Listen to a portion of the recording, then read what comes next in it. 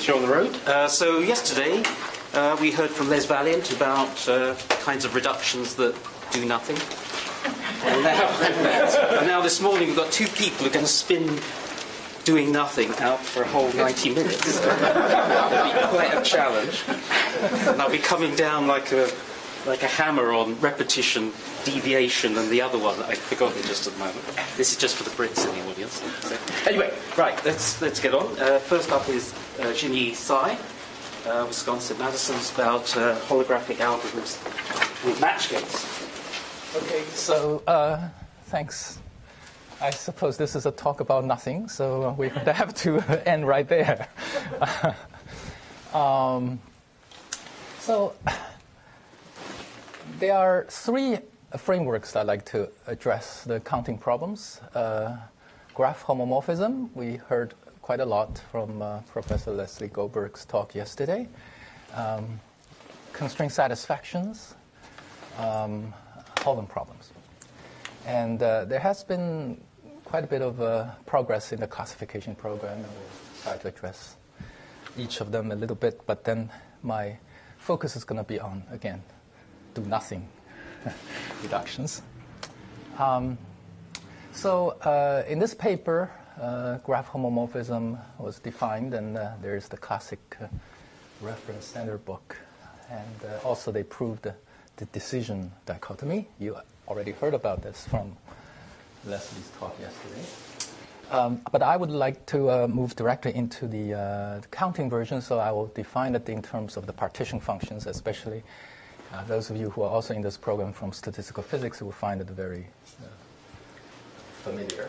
So you have a matrix, and I like to start already from the complex field, and I'll say a few words about this sort of uh, my view why this should be the right view, uh, right field on which we discussed this uh, earlier.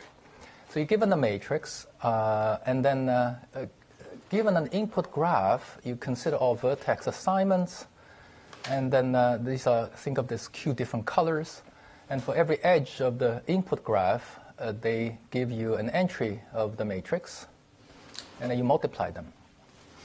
Okay. You've already seen examples of this. If you have a 2 by 2 matrix, that's uh, 0, 1, 1, 1, that's a vertex cover. Uh, 1, 0, 0, 1, 1, 1, 0 will be independent set. Uh, the uh, zeros on the diagonal, ones off diagonal will be uh, coloring, and so on. So these will represent various uh, uh, combinatorial problems, and this quantity in the 0, 1 case will be 0 or 1 if it's a valid solution to the problem, and then sum over will become the number of solutions. Right? And uh, um, so they represent all sorts of interesting problems. Here, here's a, a, somewhat less obvious problem. It's a 1, 1, 1 minus 1. So think of this as coming in 0, 1, 0, 1. And this function, this is a binary function sitting on the edge.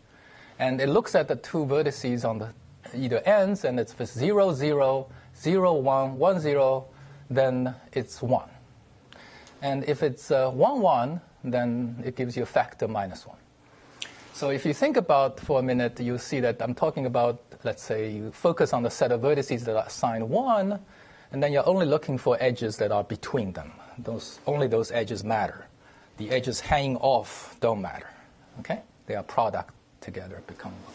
So it becomes a minus 1 to the power, which is a number of edges in the selected subset. That's induced subgraph being odd or even. That's the issue. So in fact, it will be the number of even induced subgraphs minus the number of odd induced subgraphs. And in this case, it's, it's a little bit like a determinant where you have this sort of even odd and you have a difference. Except here, the permanent is so solvable easily because the sum of all even or odd is to be or not to be. Of course, every induced subgraph is one of those. So therefore, the total number is 2 to the n, and the induced, total number of induced subgraphs, and therefore the sum is easily computable and then if you take this arithmetic difference, you'll find the number of all the induced subgraphs, for example. So th- these quantities have some meaning, and this turns out to be uh, something that can be computed in polynomial time, even though the definitional thing talks about 2 to the n terms. Okay, so then, uh, you know, uh, the work of uh, Dyer and Greenhill got the balls rolling where they uh, look for 0, 1 matrices and define graph homomorphism for the partition function. And the question becomes for what kind of A it defines a problem. The problem is input G, compute that. Okay? And they have dichotomy theorem. And this has been extended uh, by Bulatov Grohe to the non negative by uh, uh, Goldberg, Jerrum, Grohe, and Thurley uh, to the real uh, and then to the complex. And um, I would like to emphasize that when it goes from the non-negative to plus or minus, or at least cancellation, uh, and finally, of course, to the complex, where cancellations happen is potentially where interesting computation happens in some sense. And, and this is an example. Oh, boy, I don't know this. Uh, this is an example. So when there are some intricate polynomial time algorithms, then the classification becomes harder. Because if you believe P is not equal to sharp P, then what we are really basically saying is that uh, uh, even though we don't see any other algorithms for this problem, there is none. And uh, since there are perhaps hidden ones, then this becomes harder task. And this is, in fact, for example, perhaps one of the difficulties trying to reach the decision CSP dichotomy. Then maybe there are some hidden polynomial time algorithms, right? Okay, so now let me define CSP, uh, counting CSP. You have a set of uh, uh, constraint functions. So earlier you can think of uh, there's a single constraint function which is binary sitting on the edge. And now I'm having this sort of a total. Sorry, could you go back just one yeah. second? So let's say we have two by two matrices. Right. Do you have, have you classified which are which? Oh yeah, this is for every Q. Q can be no, no, but you say given A, whether it's in P or sharp P can be decided in polynomial time. Oh yeah, yeah. This, this in fact is a much more explicit than saying it's in polynomial time. So how, how far have you gone? Uh, everything really. Uh, th- th- this statement by saying it's polynomial time is a little uh, very weak statement of the truth that we have almost a closed form expression of it. So if I handed you a five oh, yeah. by five yeah, matrix, yeah. you could. It's there. That's the whole point of dichotomy theorem, right? But of course, you immediately see that this goal is not quite reached by the next dichotomy theorem. Okay, so this is, yeah, this is, in some sense, we sort of understood what makes. Okay, so maybe just say it what it is. It's going to be a direct sum if you properly, suitably order the uh, colors of, of the coloring of 1 to Q. And then uh, each of the block will be either bipartite or not. And if it's bipartite, uh, each block will be as described below. And so now I'm talking about either the block of the bipartite part or the individual part. And they are then some sort of a rank one modification of a suitable tensor product of, of, of some Fourier transform matrices or something. And then there are actually, this is not quite right. There are some quadratic uh, form requirements on the vertices which had to come up in this classification. So that's roughly it is. Okay, so if you think about this particular one and imagine it's a, you know, 41 by 41 uh, Fourier matrix. 41 is a prime, I think. Okay, so, okay. So and then you can do tensor products of these guys, and then you do some rank one modification. That becomes one block, and then you can have any any number of blocks of this sort. That's roughly what it is. And now uh, CSP. I give you a set of constraint functions uh, each one of them has a certain arity, so this function takes 5 input, and that function, the other function takes a 15 input, and they come out with a complex number. And uh, the CSP instance defined by this set of functions, so this is considered constant now, 59,000 functions, that's a, that's a constant. And once this is fixed, it defines a CSP problem, which has input of n variables, taking values over some domain, and some finite sequence of instantiations of these functions. So f1 applies to x1, x2, x7. f1 again applies to x1, x1, x9. And then f2 applies to x7, x9, x1, and so on and so forth. Okay? And then you think about for each assignment of the variable, you multiply these constraint functions, just like what we just did earlier, and you sum over all possible assignments. So one way to think about this is like you have a bipartite graph where variables are sitting on the one side, constraints sitting on the other, and then every constraint function applies to a set of a sequence of variables because the order matter. And then you think about all possible assignments of the variables. For each one of the assignment, you multiply these constraint functions, and then you sum over all the product. Is it sum of product computation. So the general form. Okay. And then uh, I want to uh, bring to your attention the uh, really breakthrough work by Bulatov, and then uh, further by Dyer and Richerby. And there's a long sequence of work. Uh, eventually says that for any complex valued uh, finite set of constraint functions of any finite domain, this problem is either in polynomial time or uh, Okay, so that's, that's the theorem. But at this point, uh, it is still not known the decided the, the, the, the, which way. If I gave you 59,000 functions, which type it went to is still unknown to be decidable. What is known, the strongest, is for the uh, function where they all take non-negative values. But uh, as I mentioned, the non-negative ones versus cancellations do matter. They,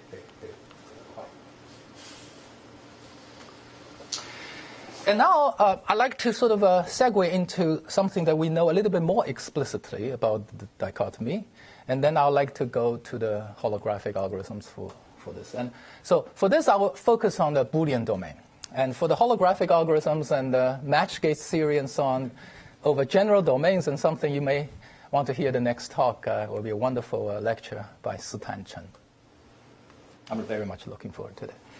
Okay, so here, let me define some uh, function classes. Uh, these are called affine type. Um, you have a constant, it's just a weight. You have an indicator function over an affine subspace over Z mod 2. And then you have I to a quadratic form. Okay? So this is, uh, now, the quadratic form, since it's on the exponent of i, you can take z mod 4, but I want the cross terms, like x1 times x2, to have an even coefficient. So this is the definition. And it's defined this way uh, for a reason, because this falls into the dichotomy. Uh, these are the tractable ones, so to speak. By the way, this 1, 1, 1 minus 1 is one of those things where you can think about this as, uh, as minus 1 to the x times y, two variables. Okay? And this is even because it's i to the 2xy. So in some sense, uh, you may say, well, I, I, don't care about I. Why do, I, why do I talk about I? Well, what I like to argue uh, in, in several points of this talk is to say that uh, in some sense they are the, uh, they, they, capture the essence. And you, you, if you really want to understand this stuff, you, you, sort of are forced to look into that level. Okay, so he, here is an example of how you, uh, how you would write down uh, symmetric functions of this family. And here's the notation. Uh, if you were at last talk yesterday, you already were introduced by this. So, uh, for example, this function says that if the weight of the input, the number of ones coming in, is zero, then the output is one. And if the, uh, the number of ones coming in is one, weight one, then the output is minus i. Again, you say, oh, all right, I don't care about this i, but what about this? Then you have to care, right? I mean, you know, plus minus and so on. Uh, it turns out that to actually understand this, you would have to write it in terms of the complex tensor power form. In some senses, these are the eigenvalues, so there really shouldn't be any resistance. I mean, we, we have progressed like 200 years from the time of Gauss. You know, complex numbers shouldn't really scare us, right? I, okay, but but but yeah, okay. So, all right. Uh, product type. That's another type where you made up by unary functions, equality functions, disequality functions, some weights on variables, and so on. Okay, so these are. But they, they, they are product over disjoint, uh, not necessarily disjoint set of variables, and they are not necessarily uh, symmetric in the end. So the function can be a little uh, a priori may not be recognizable. And in fact, the Fibonacci gates that Les talked about yesterday's talk are those which, under holographic reductions, are transformable to these kinds.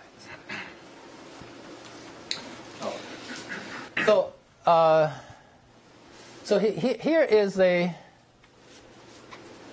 how much slides have? Oh, okay, there, thing always goes a little faster than I want. Ah, so here's a concrete one over the Boolean. So they are very concrete now. It says that your function set is either in affine or product for the CSP of a Boolean domain. Okay, and the class I just defined for you. And, um, and this talk, uh, my primary focus is going to be if you added uh, Valiant's holographic algorithms, what happens? Okay. And uh, uh, in particular, it will be about the do nothing. There was this term called do, do nothing Congress or something. I think we want to, some do nothing. This is great it's because it's us who are supposed to do the work, so do nothing is great. Uh, so it's do nothing reduction to the uh, FKT. I'll bring this up. So here, here's a setting. Uh, you have what's called a signature grid. You have a graph, basically. We'll see an example in a minute. And uh, think about every vertex has a function sitting on it. And then you think about the edges as, uh, as variables. And for every edge assignments, you consider at every vertex what its incident edges are and what its val- evaluation is, and then you take the value. Okay? So here's an example. Perfect matching, right? And here's a particular choice of the red ones as 1, the others are 0. Sitting on every vertex is a function that says if the number of red is 1, then I like it. That's a perfect matching, right? Otherwise, I don't. Okay? And so every valid assignment of 0, ones on the edges is a perfect matching, and uh, the product in this case will give you a 0, 1. If it's a perfect matching, it's 1, otherwise 0, and the sum is the number of perfect matches. Natural. Yeah. Where is this word coming from? Is it a name of the person or is it an abbreviation? what is it? Uh, less? Mystery. Mystery.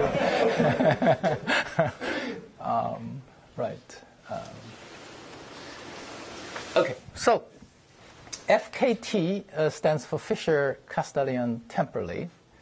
Um, this is an algorithm that can compute the number of perfect matchings over planar graphs, and in fact can compute the uh, weighted sum of perfect matchings over planar graphs. Of course, over non-planar graphs, uh, there's a classical theorem that this is sharp P. And for almost 50 years, uh, this sort of stood as the algorithm that turns a generally hard sharp P problem to be polynomial over planar. Um, and then Les introduced uh, match gates and holographic reduction. This extended the reach of FKT. And uh, what I like to talk about is what happens if you think about this as sort of at a, at a class level.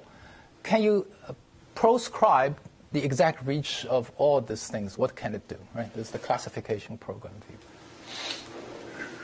Um, so here's a quote from uh, Les that uh, the situation with P and NP is not dissimilar. It's a very British way of uh, saying it, not dissimilar to that of other uh, unrelated uh, conjectures, and uh, the possibility of accidental and freak objects cannot be dismissed unless you systematically investigate.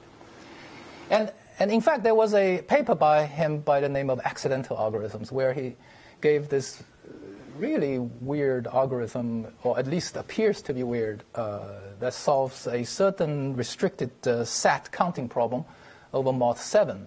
But mod 2 is actually known to be NP hard.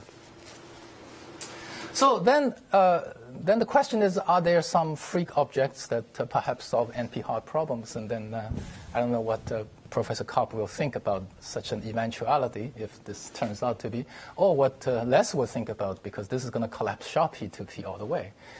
Um, and what I like to say is that um, at least um, for the type of problems we have, we, we can probably classify them subject to the belief that they are not, and they, they are pretty finely uh, de- delineated so that there's uh, no fear at this point. Let me get you acquainted with this do nothing uh, technique, okay? I, I, really think this uh, bears repeating that uh, people have seen it, I apologize, but uh, you know, I think it, it has to get used to if, if you see it several times. So let's think about a constraint function. This is very concrete. Uh, I have four variables coming in, and the value is such that uh, the output would be 3 or 0 or 1 or 0 or 3 if the input has Hamming weight 0, 1, 2, 3, 4. Okay? So remember this uh, perfect matching will be 0, 1, 0, 0, 0, 0. Okay? And here is 3, 0, 1, 0, 3. Uh, this is the notation for this function. And then Holant will be a sum of, uh, of these uh, assignments over edges and product over evaluations. So what is this problem? Well, since there are zeros on the odd weight, so the assignments of the zero ones on the edges better be all even for every vertex. So at every vertex, it has to be zero or two or four. Okay? And if it's a zero or four, then the output is three. And if the number of incident edges assigned one, there are six possibilities, assigned is two, then the output is one. And you want to multiply all these together and then sum over all possible such assignments. So that's, that's the counting problem. Okay? Before anyone thinks this is an artificial problem, I, I want you to hold this thought for a sec. Okay? And let's think about the do nothing transformation. So now let's think about the incidence graph of this graph, where on the one side is a bipartite graph. Now, on the one side is the set of edges of the graph, and on the right side is the set of vertices of the graph, and there is a connection between the vertex and edge if the uh, vertex is incident to the edge. This is called the in- graph vertex edge incident graph. Okay? And now uh, it's clear that the Holant problem can be viewed as a bipartite version where equalities on the edge is uh, given as a function, and the original uh, function on the right vertex is sitting there. Because originally the edge is supposed to be chosen or not chosen, and now I'm sort of artificially saying that. Uh,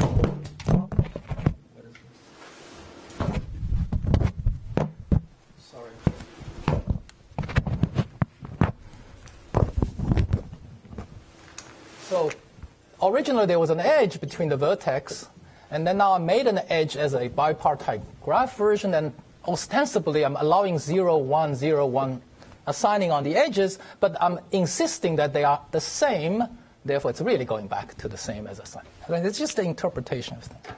However, once you set up this way, then it allows us to a holographic transformation on the left side and right side. And on the and I'm going to transform by this. And here you see the I appears. And on the left side, I will transform by the Z. On the right hand side, I will transform by the Z inverse. And this will give the same value in the end. And now on the left hand side, you can think about this uh, equality as a truth table of uh, 1001. And by 1001, I'm merely thinking combinatorially, right? The index is 0, 0 coming in as 1, the index is 1, 1 coming out as 1. Otherwise, the outcome is 0. It's just a truth table written as 2 to the, in this case, 2 variables, and writing as a, a mere, you know, like computer science would do, right? This is, you know, here, here's a truth table. But then I want you to think now in terms of not just as you know, up or downs as values, as numbers, and you can operate on them with these complex numbers of i. And then once you do that, and this is hocus pocus later, you get this, which is a 0, 1, 1, 0. It transforms into the disequality, which says that I only allow 0, 1, or 1, 0. Right? And this, back into our computer science point of view or discrete math, there's an obvious interpretation of being an, uh, an orientation of the edge. Okay, so you go this way, you go that way. All right. Now, what about the other side? The other side, you just have to trust me, this dot, dot, dot, I didn't lie to you, but it turns out that it becomes the 0, 1, 0, 0, 1. Okay. So it turns out it's a 0, 0, 1, 0, 0 function. Okay. So the 3, 0, 1, 0, 3 has become 0, 0, 1, 0. This goes through the complex and only through there is possible to do this. But now think about what is this 00100? I'm doing the orientation now, going back to the edges. Forget about this vertex. I'm doing edges and doing orientations on the edge. And the constraint on the vertex, the original vertex, is that it has to be exactly weight 2. So 2 coming in, 2 coming out. Right? And this is an eminently uh, natural problem It's Eulerian orientation problem. I want to orient the edges so that there are exactly two coming in, two coming out everywhere. And I'm counting this. So the two numbers are exactly the same. This is the do nothing transformation. And in particular, uh, I don't know if it's artificial or not. Do nothing. Do nothing, exactly. Do nothing, but uh, we get something. It's great. Violating physics, obviously, but who cares? So, so the goal is sort of I, I don't want to impose some view of what is natural, what is not. I, I want to classify. Okay, so this is uh, the setting. Now, let me bring in this class of what's called the match gate signatures. Uh, so, a given a graph, a weighted graph, um, you define what's called a perfect matching uh, polynomial or quantity, summing over all perfect matchings, and for every perfect matching edge, you multiply the edge. Okay, so this is the quantity, and then you, uh, for this graph, you ascribe a what's called a signature, or you can think of it as a tensor, where the index is a subset of the vertices that are outside of this graph fragment. No, I should say this is a planar graph. And then you uh, compute the perfect matching polynomial on the graph where you repeat, you, re, you delete a subset. And so if you have five external vertices, then you have 2 to the 5 possible values coming out as a tensor in 2 to the 5. And of course, for being perfect matching, there are only at most 2 to the 4 non-zero entries. Because Okay. So this class is going to be called M. And so now I can state uh, our main theorem that has appeared now uh, with Zhiguo. Uh, is he here? So for any set of constraint functions on Boolean variables taking complex values, not necessarily symmetric, uh, this uh, CSP problem defined by this set of functions is exactly falling into these three categories. Re- remember, if it weren't for the uh, planar consideration or holographic reduction to FKT, we only had two. So here it says that's either in polynomial time, regardless any input is a planar or not, or it's a polynomial time on the planar ones, but generally hard over the uh, general graphs, or it is uh, plan, uh, sharp P hard even over planar graphs. Okay, so this is the theorem. And furthermore, uh, the second category, where in general it's hard, but over planar graphs is solvable in polynomial time, consists of precisely those problems that are holographically do nothing reducible to the FKT. So this is the, the theorem. Um, so this is like symbolically how this uh, plays out.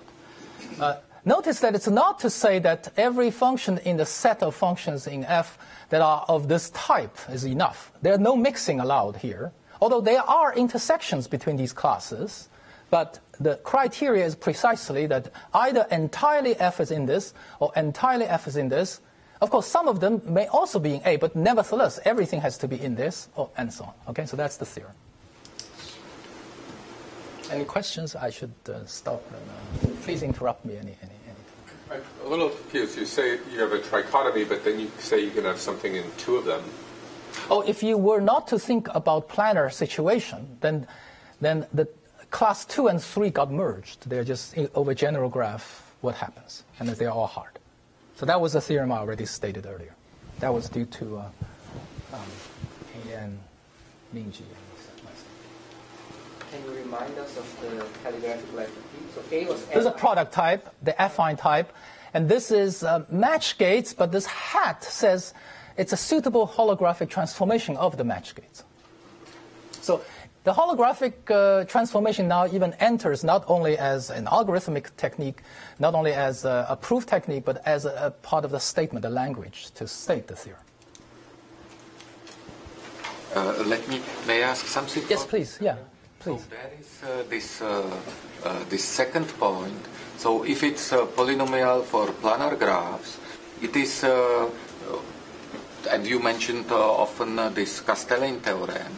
So then uh, uh, there is this uh, for toroidal graphs or graphs of bounded genus. Yeah, by Would it uh, somehow so? It would, it would. In fact, uh, I, I, I'm sort of saying here's genus zero, and um, uh, you could extend this to bounded genus, but they usually go on, sort of the genus goes on the exponent time. Yes. So Um, is it, uh, but- is it in fact polynomial for any fixed surface? For this? Yeah, yeah. So that well, well, I, I, I think so. I, I, these things have to be very carefully written down, and uh, yeah. But no, but this theorem does not address that technically, right? It, it just thinks it's about just- yeah. So if it's not planar, then uh, you know technically it goes to the general case. They carry Right. Right. Oh yeah, definitely, definitely. Yeah, you can definitely. And in fact, there are some people who are very interested in these fixed parameter complexity, and I think that would be a very nice open direction to explore here. Well, I should mention that the, the symmetric versions were already obtained previously. Uh, Pinyan, Mingji, Tyson, So I think this uh, universality claim uh, should really be uh, greeted with some skepticism because, um, uh, for, for example, uh, this universality is claimed for the match gates and suitable transformations. But match gates are uh, naturally Holant problems. Okay?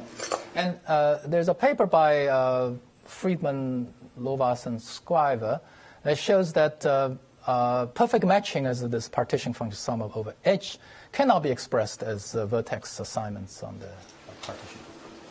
So it, it's not. Uh, it's, it's, it's, a, it's a strange situation where the universe universality comes from this Holant primitive in some sense, but we have a theorem that says that uh, over, over the Holant framework, this is false. So there are, in fact, additional category 2 type problems.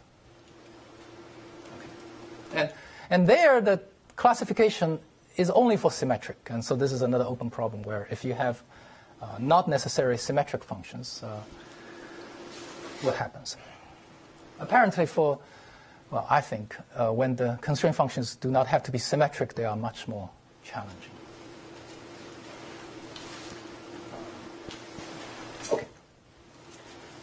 So now, for the remaining 10 minutes, I'd like to um, um, give you some flavor of this proof. And obviously, I, I, would not be able to give you all of it because it's long, but it's, it's available on, on online now, so you, you're welcome to look for the details. Um,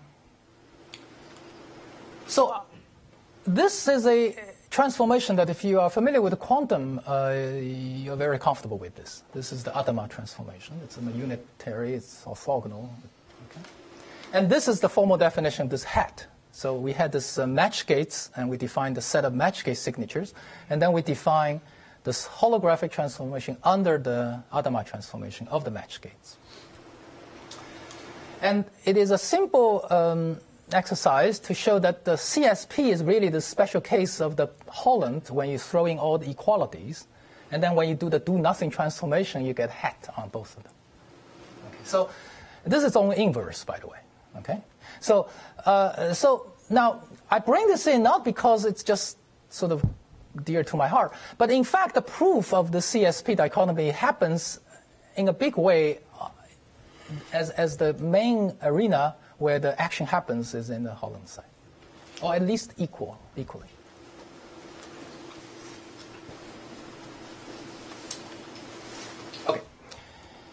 So the claim is that it's either this or this or this or otherwise it's hard, right? Okay, so that's the theorem, right? Um, it turns out that uh, we'll also think about this in terms of the version in, in the Holant side. So this is, think about this like a Fourier transform. I, I, I, have some problems I, uh, for, me to easy to, for me to handle in the primal sense, but then sometimes it's easier for me to handle in the primal, in the dual. Okay, so I, I go over between them. But it's, it's interesting that this is like a, you know, without the transformation, this is with, but then if you went over, then uh, these will be with and this will be without. But A actually is its own transformation, so it didn't happen, uh, no change. So, so, so these all have just one hat on it. As I said, A is invariant. P hat, on the other hand, is much more difficult to handle than P.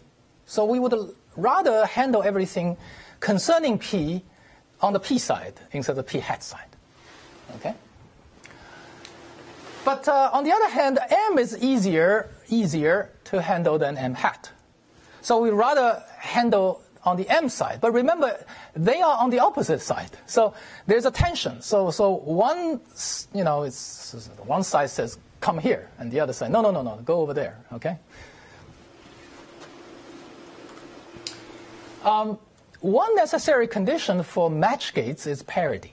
So if if if you think about uh, uh, a match gate that uh, assigns these values, the value has to be uh, either zero on all weight even entries or zero on all weight odd cases.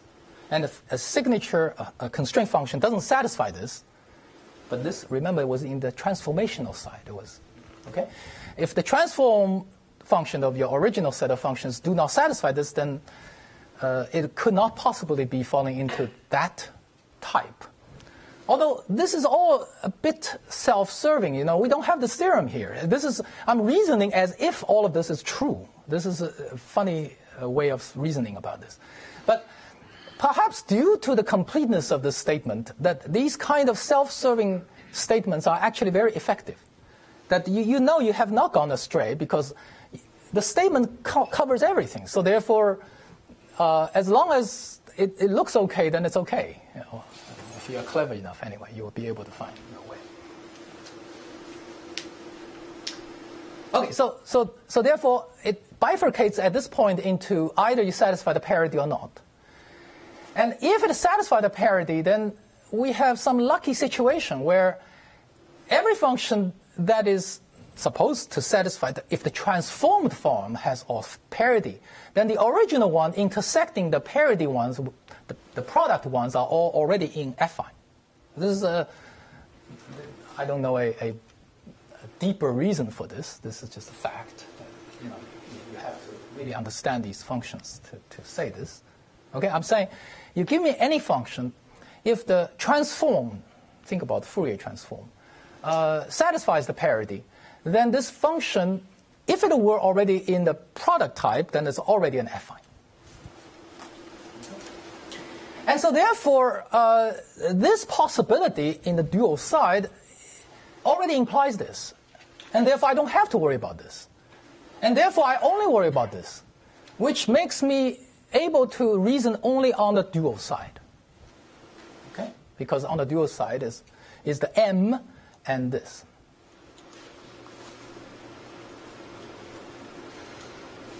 Okay, so this is what I said. If, if it fails, oh, sorry. So, so then there are two cases. One is if satisfied or it fails. The first case is if it fails, then there's something that fails. Then we do a arity reduction to produce a unary one that fails. So this is a function that both have non-zero entries of a one variable function that already fails the parity. And then um, quite a bit of work after this to deal with it. Um,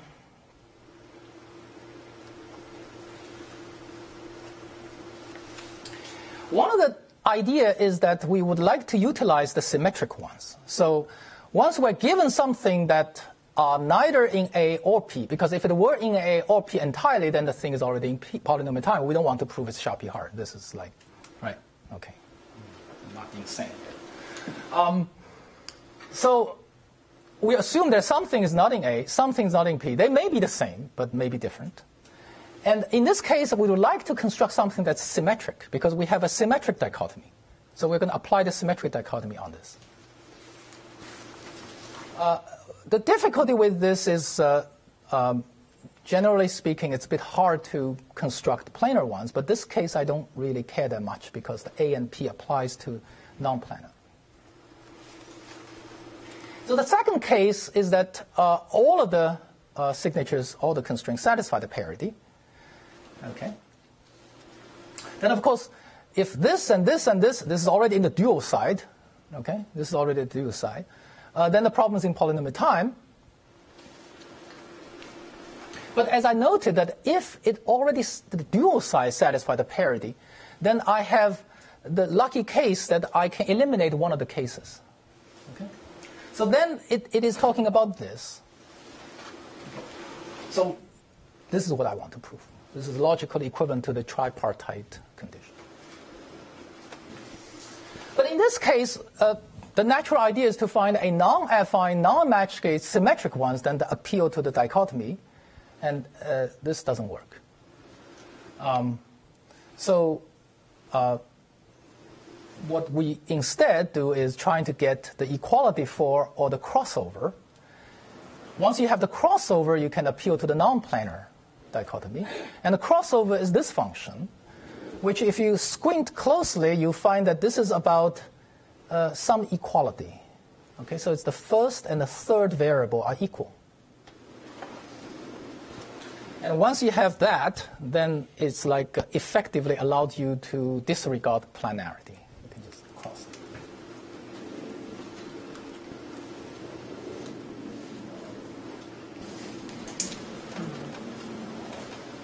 So once we have the equality, however, we can get this class called the planar CSP2. These are uh, special cases of, of CSP problems where every variable appears an even number of times. And so once you get in the dual side, you get the, the equality 4, then you get equalities of all even arity, then you get the CSP2. But then comes a sort of a, what I call the, the cognitive dissonance. So this guy looks like a CSP, but this was on the dual side. So it was the CSP under the holographic transformation went into the Holant, and then and hocus pocus I got into a CSP type problem again. And then we are going to apply a CSP2, which is kind of CSP like dichotomy criteria on this. And this transformation is specifically to get into like the match gates side, but then these things are not going to f- satisfy the match gates. And so it eliminates a lot of things, at which point we have five classes remain, and then you can wheel out four of the five, and then you work a little harder, you get the last. So should I stop here? You can if, you, if, if that's the How, how many minutes do you think I have? Two, three.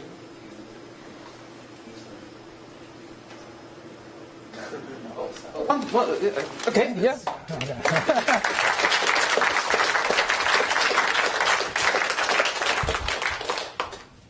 Okay, so we've got. Um, So, sorry, go back to this graph homomorphism.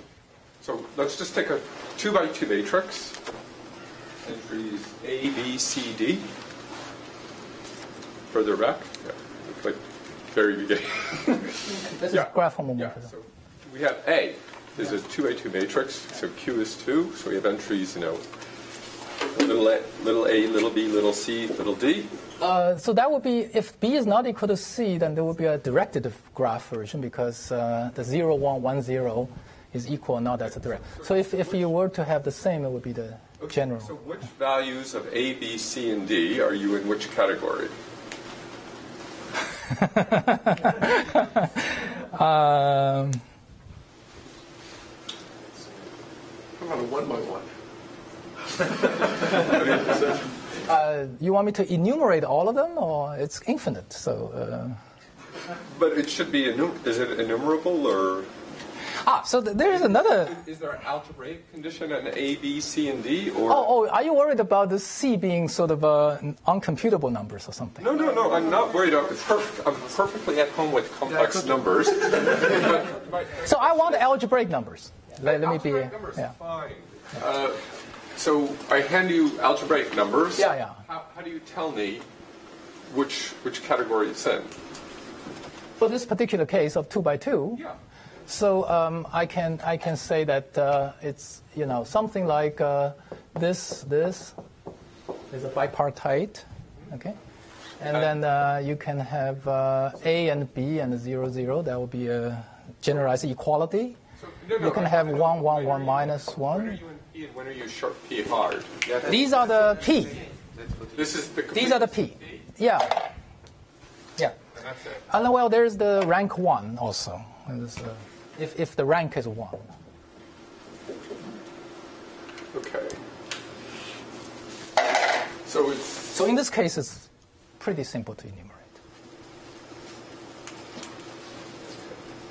so we have a four-dimensional space and there's two-dimensional subsets that are in, and then there's isolated points.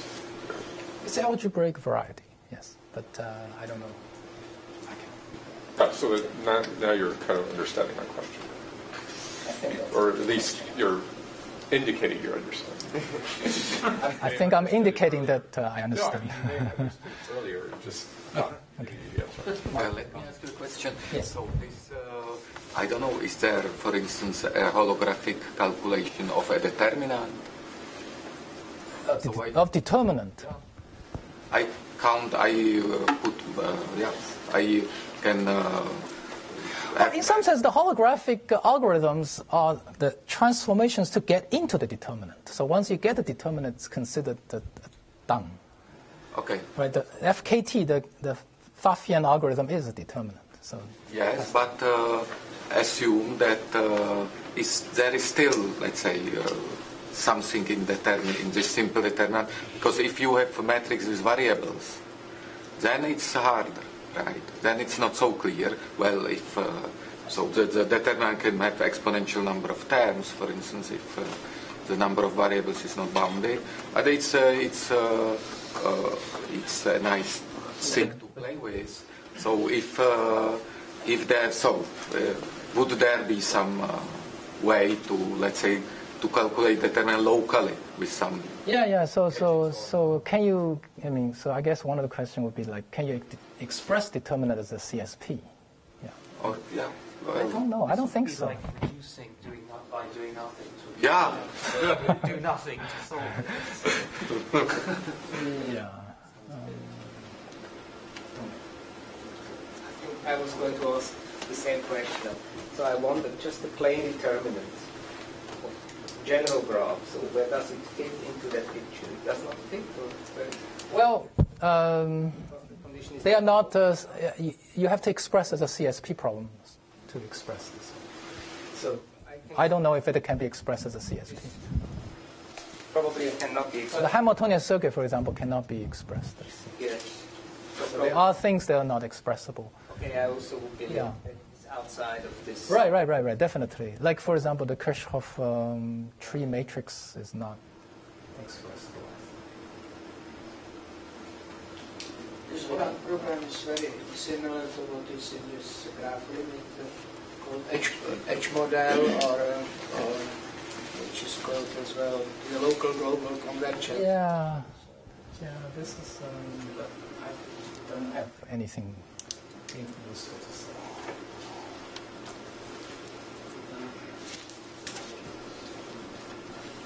useful to say. I think, but you, you have main theorem, and you have this example, which was the two in, two out.